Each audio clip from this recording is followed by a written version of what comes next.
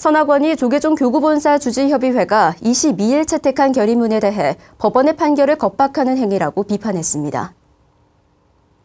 선악원은 23일 성명서를 통해 진행되고 있는 소송의 쟁점 사안을 일방적으로 유권 해석해 공개적으로 발표한 것은 재판부에 대한 위협적인 법치 위반 행위라며 교구 본사 주지협의회에 즉각 철회하라고 촉구했습니다.